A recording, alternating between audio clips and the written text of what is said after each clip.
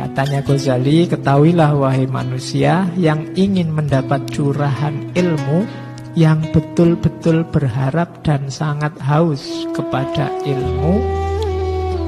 bahwa jika engkau menuntut ilmu guna bersaing, berbangga, mengalahkan teman sejawat, meraih simpati orang atau yang sifatnya keduniaan, kalau cari ilmumu tujuannya salah satu dengan ini atau dekat-dekat dengan ini.